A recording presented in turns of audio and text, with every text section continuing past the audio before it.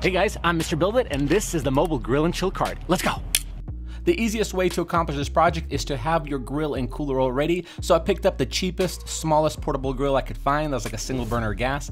And for the cooler, well, I've had this cooler for the last five years. So I thought I probably won't miss it.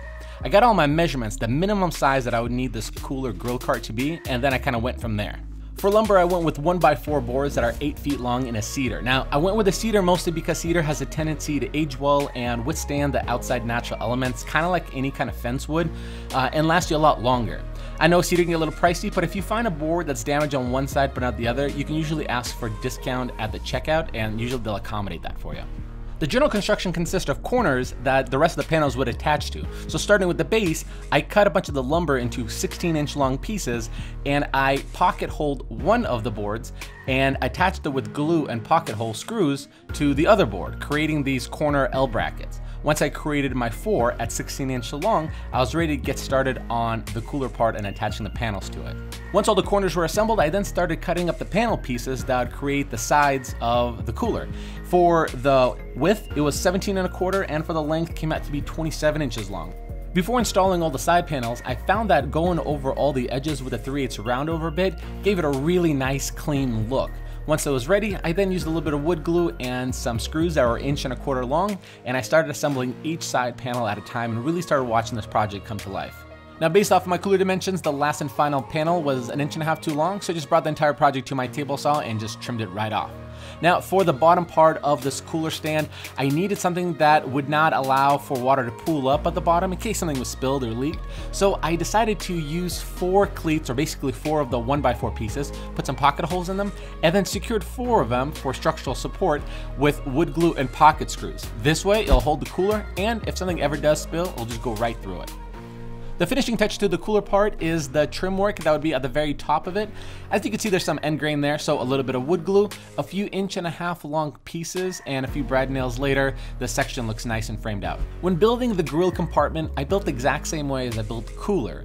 Now, the only thing I did differently here is I split it down the middle on my table saw to create the top and bottom part of it, kind of like how we learned to build jewelry boxes in woodshop. That way, when you close it, it's a perfect match to it.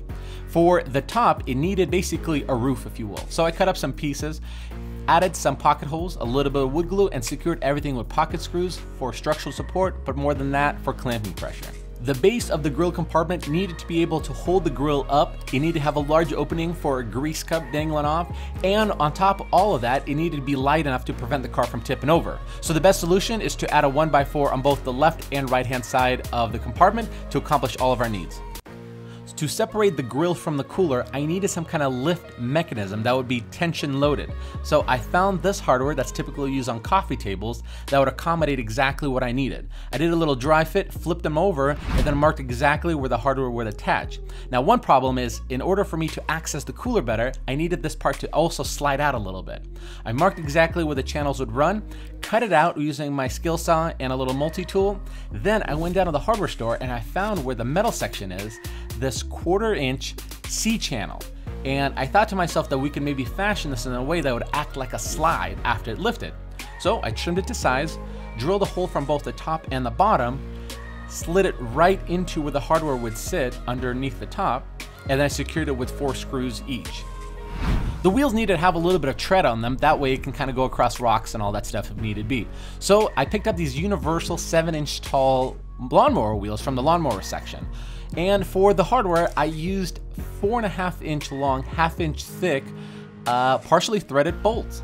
Once it went through, I then put a washer on both sides of the wood and secured in place with a locking nut. This allowed for it to minimize any kind of friction and roll out just the way it needed to be. Now, instead of using all four wheels, I, for the front, used these little stops or kickstands, if you will. That way it allowed for me to turn this thing easier and have it propped up and balanced perfectly. To have a functioning grill cover that open and close, I use these black 3 inch hinges that worked perfectly. Now, to prevent this cover from tipping this entire cart over when it's open, I used a chain and I installed little D-links to it that have screw holes at the end of it. And when I found that perfect balance point where it wouldn't fall back too much and wouldn't go forward too much, smashing your hands, I secured it in place using a couple of screws. Now the nice thing is the exact area that it was set for, it doubled down as a little ledge or a little shelf.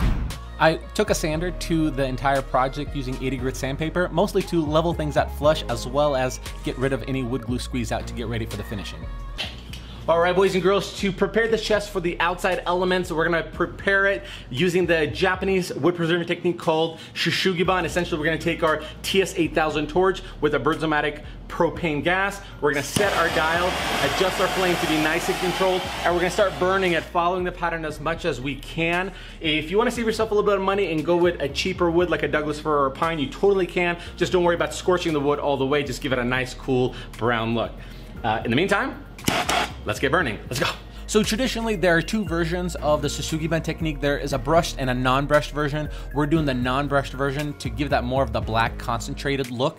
And the applications behind it, really historically, they're showing signs of it decreasing decay and rot in wood, uh, stabilizes the wood movement, it decreases the insect infestation in the wood structure itself, uh, and they're actually showing signs of it being more or improves fire retardancy, like which is kind of funny because we're actually using fire to burn this thing up. So historically, it's a very practical applications, and I knew that this grill would sit outside for an extended period of time, so I wanted to be ready for any types of the elements, and what better way than doing the traditional way. After we have the project burnt and charred the way we want it to, we're gonna use boiled linseed oil and apply it with a cheap brush. It usually takes about five to six coats for it to stop soaking in all this oil to clog up all these pores that are expanded and let it dry overnight. The next day, when everything was dry, I gave it the old touch test to make sure that none of the charring could be found on the hands when touched. And as you can see, it passed with flying colors. I picked up some hardware that would lock the tops in place and some hand grips for the bottoms. Installed the wheels for its final time, did its final test dry fitting for the cooler and the grill, and I was ready to see how this puppy works.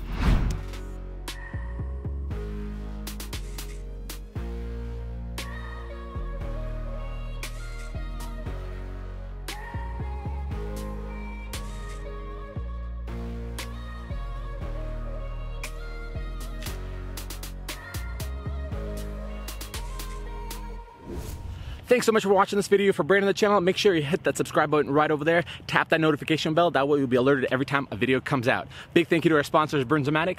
Tune out this week. We'll see you guys next week. See ya. Bye.